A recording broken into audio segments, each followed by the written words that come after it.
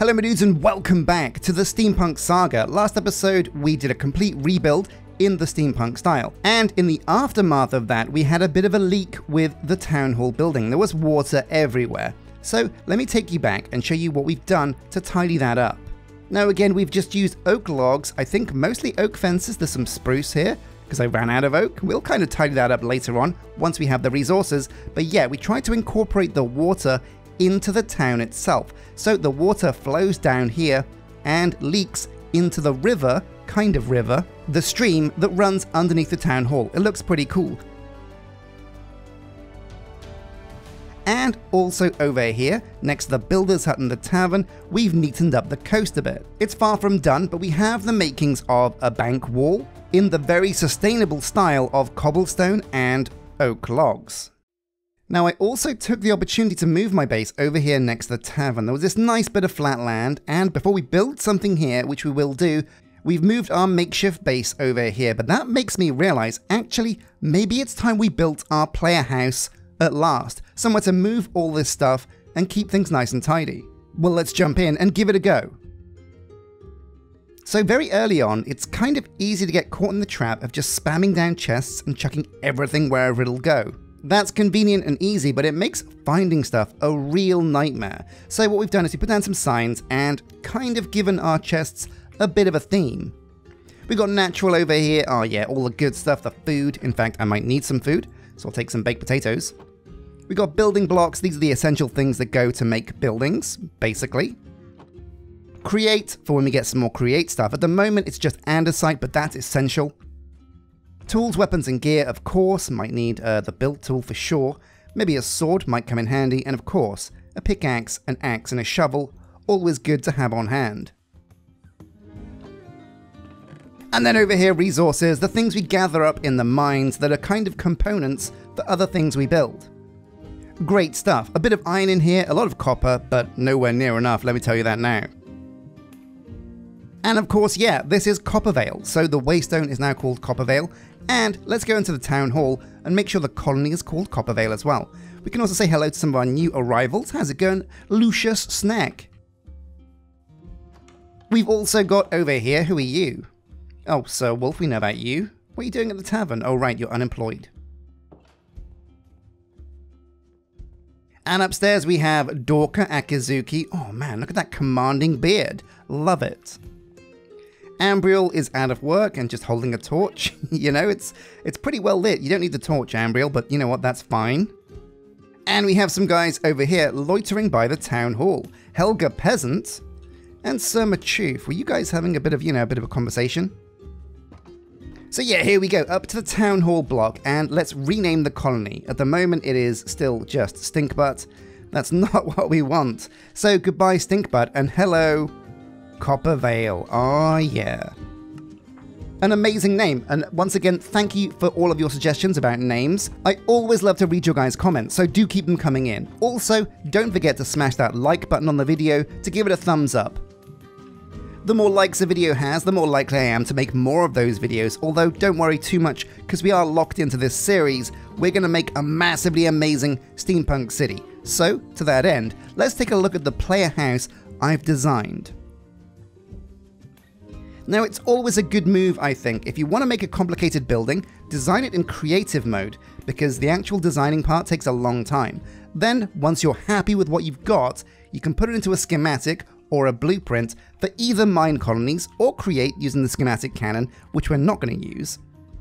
And have the builder build it for you makes things much easier. So let's take a look at the player house I've designed. Switch pack to my local pack, go into scans, and here we go. So this is a two-part build.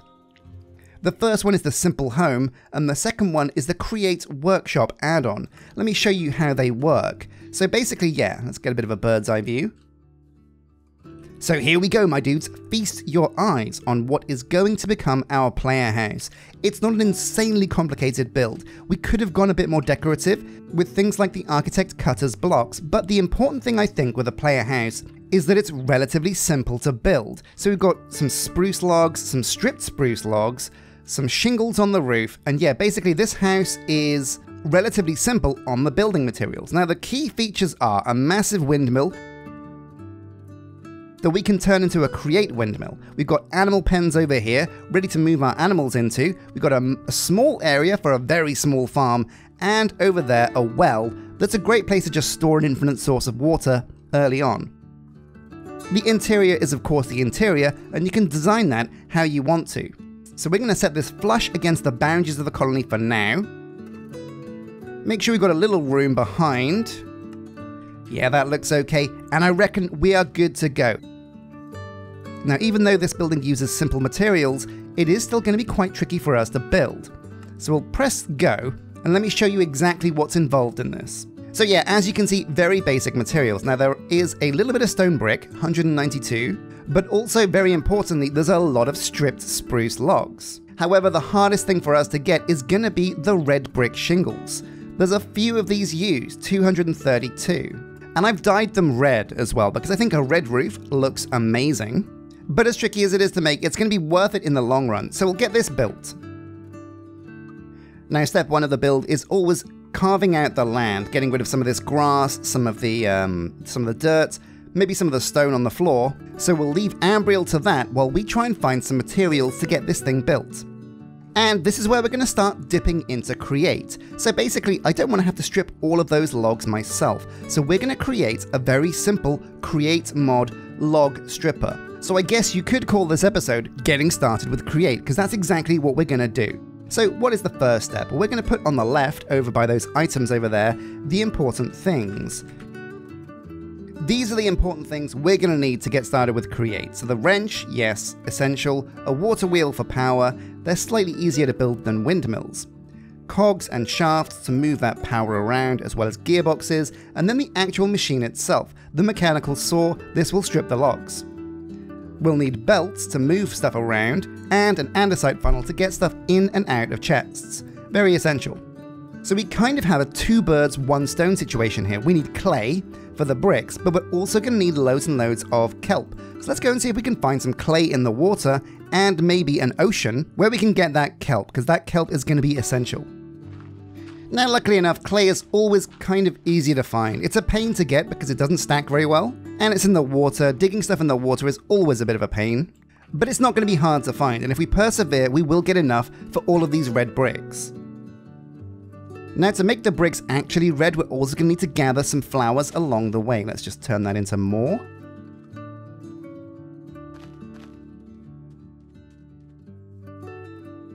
And again, on any journey, you're going to find loads and loads and loads of red flowers no matter where you go. It's always an easy find. So dyeing things red, yellow, white, or blue, very simple. And luckily enough, they're kind of the primary colors, so easy to kind of get from there to whatever you want to have. The only tricky dye to get, I think, early on is green, because you need cactus, which is why we're not using cactus. Okay, so we've got a reasonable amount of clay now, the tricky part is going to be finding some ocean. So a look at the map shows us, oh my god, what happened there? What's up? What's up with that? Look at that hard line, that's very weird. But I don't see any ocean, so what we're going to do is we're going to follow the river all the way down here, past this weird structure that we can check out along the way, and then maybe if we're lucky, there's some ocean down here because this area here does open up. So my friends, let's go on a bit of an adventure down the river. Oh yeah. So let's take a moment to chill and admire some of the scenery and the generated landscape as we sail gently down the river. Oh man, such an amazing, amazing biome, amazing seed. Got really lucky with this one. Do have to watch out for crocodiles though. Those are deadly.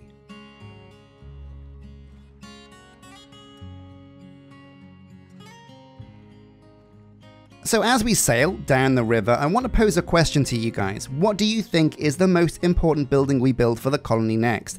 I'm tempted to lean towards the warehouse. It's a great place to store stuff and essential for the future of our colony. But is it so essential that we want it to be our next build? I don't know. So let me know in the comment section what your thoughts are. Ah oh, man, though, what a beautiful day. So IRL over here in England, it's insanely hot. I think it's like 25 degrees Celsius. Oh, and my skin is melting off, like to the bone. Just so hot. Hope you guys are enjoying good weather wherever you are, but I am melting. I'm in the melting pot right here. Alright, through the bridge. There we go, nice and simple. Aha! So this is it. This is what we found on the map. This giant structure. What is it? I've got to find out. I've got to know. It looks amazing. There could be good loot inside. There could also be very dangerous monsters.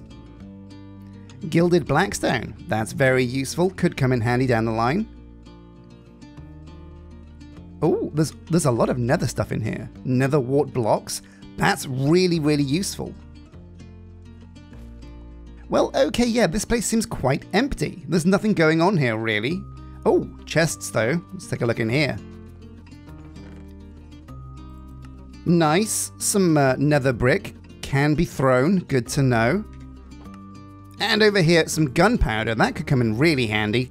But yeah, uh, pretty slim pickings as far as loot goes. Maybe there's something I'm missing. Maybe if we dig down in the middle, there'll be something groovy down there. Also, this obsidian looks like it's loosely in the pattern of a nether portal, so we could fire this up and use it as a nether portal, although it's a bit far away. Anyway, let's get back to the boat. And oh yeah, look at this, a flowering azalea. Very essential. That's going to come in really handy if we can get this grown and on farm. Oh no, it looks like oh, we've got an uninvited guest in our boat. There's a turtle. Are you in the boat? With me? Oh my god, yes, he's with us on our adventure. That's amazing. So come with me, Turtle Boy, Terry Tibbs. Let's go and find some kelp. Oh no, my dudes. oh, so we're trying to go south into this part of the river and we're landlocked, so I'm, I'm, I'm afraid, my, my turtle friend. This is where we must part ways. Oh no, he's mad. He's, he's spinning like a, like a Beyblade.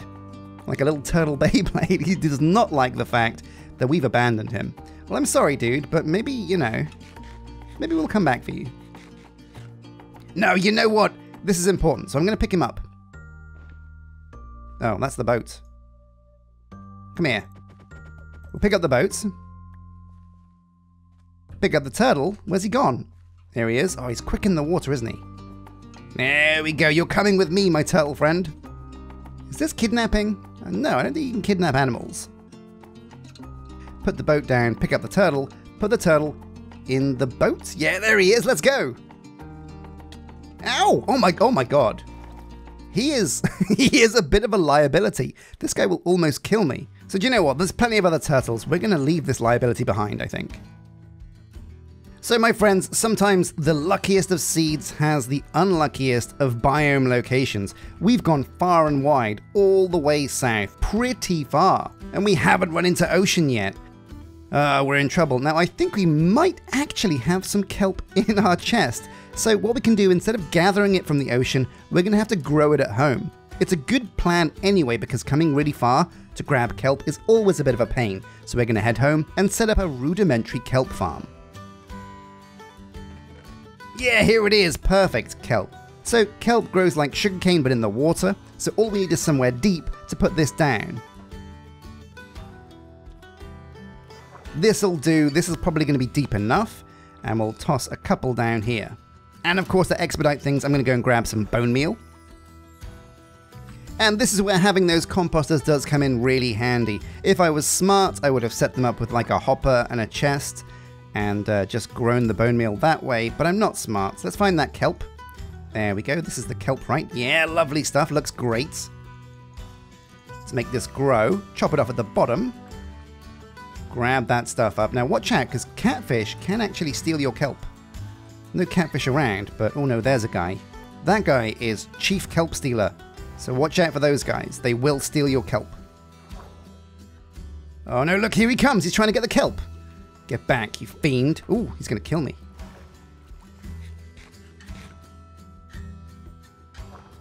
Where's the rest of the kelp? Oh my god, there's another catfish. I reckon that guy stole our kelp.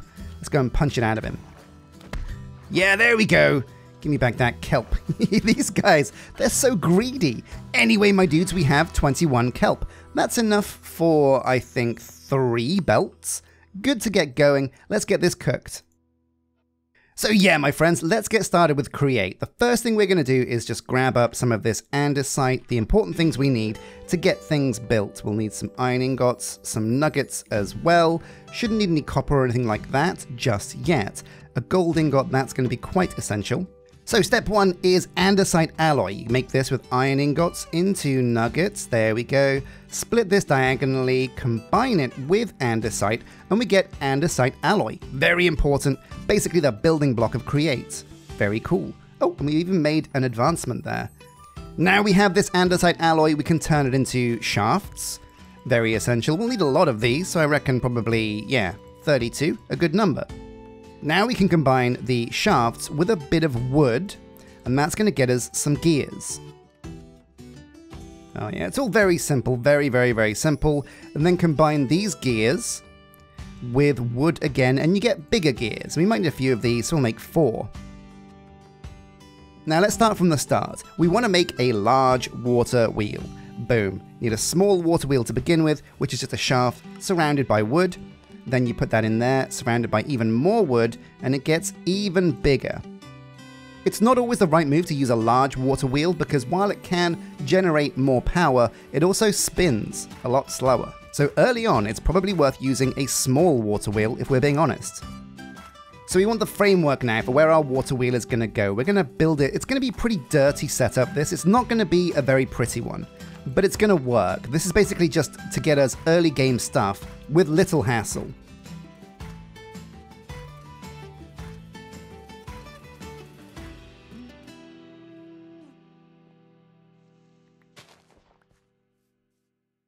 So here we go, a nice little area for some water wheels. Now we can put one down. We'll choose the smaller one first. This is going to fit here quite nice. We are going to need a few more though. So let's get that built. One, two, there we go. So what we're going to do is we're going to plug these next to each other and make like a triple water wheel. Excellent stuff. Now we're going to power that water wheel with, of course, the power of water. Power of one, power of two, power of water. Here we go. Now, there's much more efficient ways to do this. Um, yeah, what I think we're going to do is get some dirt and give it a back over here. Build this up like that. And put the water in the back over here. This should flow down and power the water wheel. Yeah, it goes down the side and the bottom. We'll get a few more waters in there to get it even more power. You want a source block on each one of these dirt, I reckon.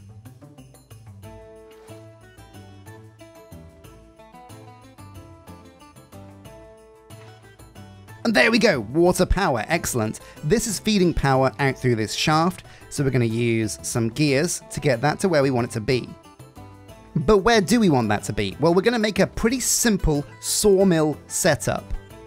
We're gonna need some stone to put some chests on, and some chests themselves. Here we go. Now this seems like a bit overkill, but it's worth doing. It's always worth going into Create for two reasons. Number one, Create is really fun, always fun to do. So where are we going to put this stuff? Well, we're going to put a chest over here. Boom. On here. This is going to be the input. We're going to send logs into here. They are going to go along a conveyor belt. We'll put the shafts for the conveyor belt like this. Then in the middle here we have the saw blade. This is going to do the sawing. It's going to saw the logs. Then a conveyor belt on this side is going to carry those logs into a chest. So we'll put another chest over here. Sounds very simple, right? We'll get the kelp out of here, the dried kelp. Need to cook the rest of it though, so we'll put some more fuel in there. And then six kelp, like this, will make you a mechanical belt. Essential. Plug this onto two shafts. Right click and right click, and you get, yeah, a conveyor belt. Can do the same thing over here. Amazing. Now we need the other part of the machine, which is going to be the mechanical saw. I don't think it's too hard to make. Let's take a look. Yeah, andesite casing, iron sheets, and iron ingots. Okay, so we do need to get some iron sheets. That's going to be a bit tricky. And this is going to have to be the first step. You can't make the create saw until you have something that can make iron sheets. So instead of a saw, we're going to use a stamper. And let's take a look for this. So it's the mechanical, what is it, pounder? A press, there we go, a mechanical press. You use andesite casing, a shaft, a block of iron. Okay, yeah, that's super simple. Oh man, it always feels like a waste though, making things that require a block of iron. Crazy. So how do we get andesite casing? Well, this is pretty simple. You put down some logs, use an axe on them to strip them, then you get your andesite alloy, and on the stripped logs, you just right click. Boom, there we go, and now we're in the andesite age. You can dig these up, and you've got yourself some andesite casing. Now, that's a bit convoluted, and that's why it's usually a good idea to make a create machine that can make you andesite casing. Now, the stamper is a very simple tool, so simple in fact that we only need one conveyor belt for this, so we've gone a bit overkill there. We can dig that up and put down just the one belt. One belt to rule them all. There we go, much better. So we've got the bits, we've got the andesite casing, the block of iron, and then the shaft on top to get us a mechanical press. Amazing! Now we need to put this down. Uh, so, this block has to be, I think, two blocks above the belt. So we'll get some dirt for now, because this is very easy to dig up. There we go. And we'll put the belt against this like that. There we go. And this is in the right place, right position. Everything looks good. That's going to come down and stamp whatever's on the conveyor belt. Good to go. But now we need to make sure we can get some spinny force into the mechanical press. So the direction which the spinny force turns is important for conveyor belts. If it goes the wrong way, the conveyor belts will go the wrong way. But there's no wrong way for it to go into the mechanical press, whichever way it's spinning will be fine. Cool, cool, cool. Now we could use gearboxes to kind of move the shafts around and get things in the right way, but it's going to be much easier for us to just skip straight to cogwheels. This is where Create really shines. There's like a million and one different ways for you to feed power into things, and yeah, check this out, the cogwheel can go there. You can put another cogwheel underneath, like this, and that is spinning in the right direction. If we put a shaft on that, yeah, look at this. Now we've got the conveyor belt going in the right direction. Amazing. Pick up that dirt, and now put one more final cog piece up here. Cog piece, cod piece. And we have a stamper. So now iron that goes onto this belt, we'll just toss one for the moment, is going to get stamped. Now again, yeah, it's a very, very, very slow process. That water wheel is spinning really, really, really slowly, so Oh yeah, this is gonna take forever. Oh my god, look how slow that is. Bonk. but it is, it is still very cool. There are tricks you can do to speed up the rotation of your gears though. But we'll get into that later because at the moment all that really matters is that this works. Now the final piece of the puzzle is an andesite funnel. You use andesite alloy and dried kelp to make these, and they're basically, yeah, like input pipes for chests. So dried kelp, one andesite alloy, two andesite funnels, the perfect amount. One here, one here. And now, my dudes, we have automation. Put a couple of these in here, four we'll say, and these are going to slowly come out, get stamped, and we'll have iron sheets. Amazing. So for the wrench from Create, we're going to need gold sheets. Okay, and that's a good use for our gold. We've got the machinery now to make this, so we can put three gold ingots in here, and these will also get stamped, albeit at a very slow rate.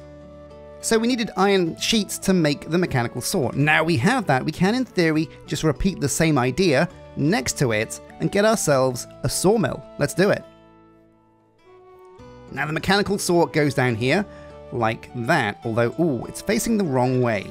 What do we do if something's facing the wrong way? Well, you can dig it up and keep trying to place it in the right orientation, or we can grab this golden sheet that we have in here, these three, make ourselves a wrench, and use the wrench to turn things around. Because you know what? I'm all about the wrenching. There we go, big moment, the wrench. So we use this on the mechanical saw, and depending on where you click, is how it's going to turn the block. This looks good to me. And there we go, we're almost set up, almost good to go. We'll grab some dried kelp out of here. 12 is enough for a couple more belts. Like that. Hook these shafts up to the belts, and these are all going in the right direction. And this is where things get tricky. So the mechanical saw has to turn in the direction against whatever's coming. So this has to turn anti-clockwise, around like that. Now, this isn't actually too bad. The gear here is turning clockwise. So if we can put a gearbox between these, that's going to reverse the direction of the shafts and make our saw spin in the right direction. So a gearbox is very simple to do. Get some shafts, combine them with wood, four should do. Then you put those gears in like a four shape around an andesite casing, and we get a gearbox. Yeah, very essential. Plonk this in between, and there we go. Now this is spinning anti-clockwise, the direction we want. So, the moment of truth, can we strip our logs like this? We're gonna need a lot of stripped spruce, so let's try and put a stack in here. Oh no, hang on a sec. Whoa, what's going on? Whoa, whoa, whoa, whoa, whoa, whoa. Stop, stop, stop, stop, stop. Hang on a sec. We've got an issue here. We've got a big issue. Get these spruce logs out. Something's going wrong. So it looks like the mechanical saw is defaulting to something we don't want. Hollow spruce logs? No. So what we can do is we can set the recipe ourselves by making one stripped spruce, plunking that in the filter, recipe filter, and now what should happen is when we put a spruce log in here, it'll make that stripped spruce, if we're lucky. Come on, my dude. There we go, now we fixed it. Okay, perfect. Let's get these spruce logs back in the machine. But it's important that we caught that, because otherwise we would have had a stack of hollow logs, kind of useless. So we have a metal sheet maker, we have a sawmill that's very handy. The last create machine I want to make that's going to help us speed up our build of our house and all of our builds going forwards is an improved smelter. We can smelt things with Create, and we can actually smelt them really quickly if we use an encased fan. Encased fans are not especially difficult to craft. We'll need iron sheets, andesite alloy, so a few more of these iron through our stamping setup. One, two. But yeah, essentially, this is really cool. Basically, what you do with a Create encased fan is you, let's see how it's used for one. So we want to use bulk blasting. You blast air through lava onto a block and it smelts it. There's 76 recipes here, but the important one we want for the moment is probably, yeah, stone bricks. We can put cobblestone on one side and it'll get us cooked stone on the other side that we can then turn into stone bricks. That's really cool. And this is incredibly easy to set up as well. It's well worth doing early on. So we have all the pieces for an encased fan. Here is the propeller, amazing. We have andesite casing and the shaft. Boom. Now, one important thing is the rotation of the shaft you put this on decides whether it's pushing or pulling. Luckily enough, this is pushing, and that's what we want. The speed at which the shaft is turning dictates how far this thing pushes. You can stand in front, though, to get a rough idea about how far this pushes and it looks like it pushes things three blocks back. So we'll dig out a bit of a trench here, and we're going to put the lava in front of the encased fan. Then we're going to put three depots here that are going to be the inputs for where we want things smelted. Does that sound complicated? A little bit. I'll show you what we're doing. So yeah, the depot. This is a very important craft as well. It's also a very simple craft. We'll need some more andesite casing, so let's gather up some of this stripped spruce. Very useful. Put it down on the floor. Bash it with some andesite alloy. And there we go, more casing. So yeah, a depot, we need three of these. So it's andesite alloy and andesite casing, one, two, three, boom. And we'll put these in front of the encased fan. Now this is embedded in the floor at the moment, it looks a little bit ugly, but this setup isn't about looking good. This is just getting some simple create machines down that are going to speed up what we're doing. But the important part now is getting the lava in here. Okay, got the bucket, let's go and grab some. There's got to be some on the map. Oh yeah, look at this. Let's go and rob the mountain. Let's go and rob the volcano of this one right here. Ah, yeah, the colony over there. We'll get rid of that boat over there. Oh my god, it does look ugly, doesn't it? But here we go, yeah. We've got the lava up here. Where is the source block, though? We've got to get the source. Got to get the lava at the source. All the way up, climbing up Dragon Skull Mountain. Oh man, flashbacks to Crown Conquest. Is that it? Yeah, that's it. The hot stuff. Let's get home. Ooh, ooh, very close. So now we simply just put the lava here. It's going to flow down and... Yeah, it looks a little bit ugly, like I said, but there's no real wood for this to set fire to. Looking pretty good. You can see the particles now have gone orange. That means they're good to go. So this is excellent. What we can do now is go into the building blocks chest, grab out some cobblestone. There we go. Put this on our hotbar to make it much easier. And here we go, a stack of each of these on each of these depots. Very cool. Now, imagine this. This is a stack, 64 cobblestone. If I put this into a regular furnace, this would take, oh, I don't know, like 10 minutes to do the whole stack. With Create, it does the whole thing in about 20 seconds. Look at this. I mean, maybe 30 seconds is more accurate. It's, it's much, much quicker though. I mean, check it out. Come on. Come on, guys, you're embarrassing me. Yeah, there we go, look at this. Processing by particle, so much quicker. That's three stacks done in the blink of an eye. But it's not just good for cobblestone, no siree Bob. What we can also do is grab out some of the clay that we gathered earlier on our little expedition, put this on the pedestals, and boom. This is going to turn into bricks at the same speed that the cobblestone turned into stone, very quickly.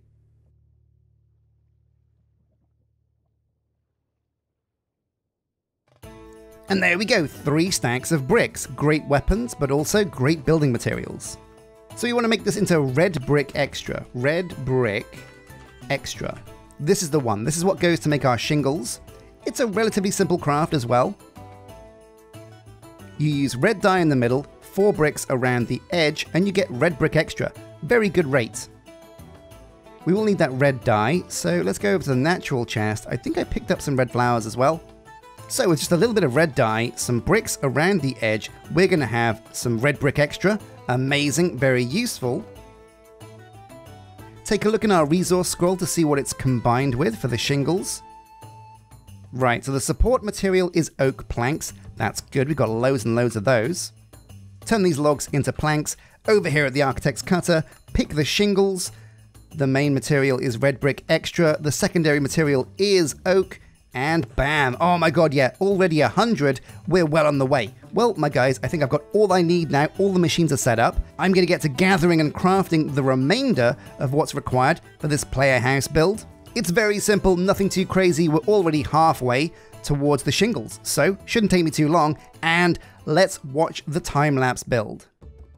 So the player house. Now this schematic is available to Patreon and YouTube members over on the Discord if you want to download it and use it in your own world. It's pretty cool. It's made out of very simple materials as well. Everything is gatherable at a very early stage of the game. I was tempted to go very decorative and really flex my building skills, but it's very important that your first buildings, especially the player house, is achievable.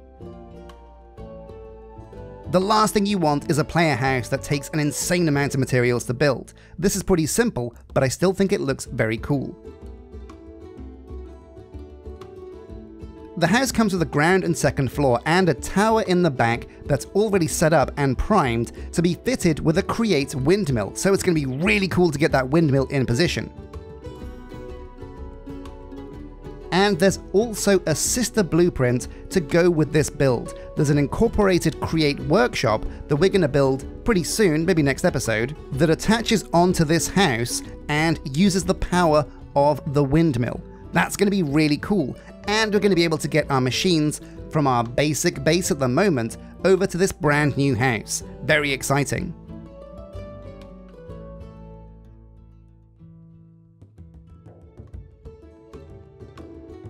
Also, as a player house, I think it's essential to give players a place to put their cows and their sheep, as well as an area to do some easy early farming. So all in all, I'm really happy with this build. I can't wait to get my stuff inside it and get it decorated.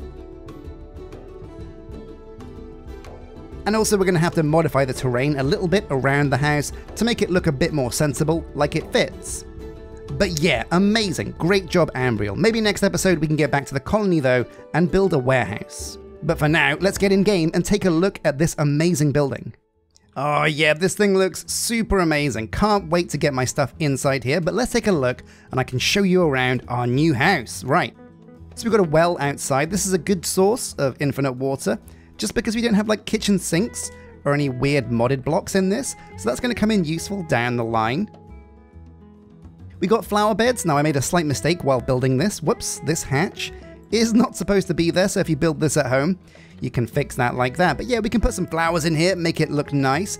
I might put some of the same quark yellow glass we have here in the front windows, but I also might leave them open. Got a flower bed out back, and yeah, it's a pretty modest, small kitchen down here, but we can make it work. The back door over here leads to, yeah, some animal pens. These are going to be perfect to put our cows and sheep in. Can't wait for that. And a little farm out here. It's not very big, in fact, it's pretty tiny, but a great place to grow early crops just to get you going. And of course, the bedroom. Yeah, now this thing looks amazing. Some of the beams from downstairs are exposed. I love the way you can kind of marry oak slabs with logs to get this kind of like rippled effect with the beams, but it does mean that you need to cover up the room upstairs. So we're going to put some carpet down and cover up that ugly beam. But yeah, we can plonk our bed up here, looking pretty good.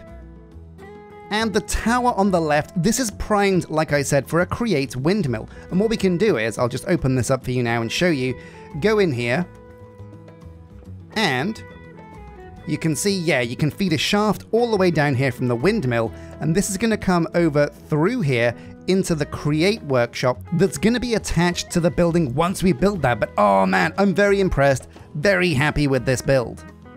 Now, massive thank you for watching. If you want to build this at home, you can become a Patreon or YouTube member, hop on the Discord, and get access to our Blueprints channel, and put this in your own world. Next episode, it would be nice to get the Create Lab built so we can move some of those machines that are over there up into a place where they make sense. But things are really going well. It's about time we started some Create, so I'm glad we got started with that this episode. Don't forget to hit like, subscribe, and drop a comment about what building you think we should be building for the colony next episode. But until then, my dudes, take care.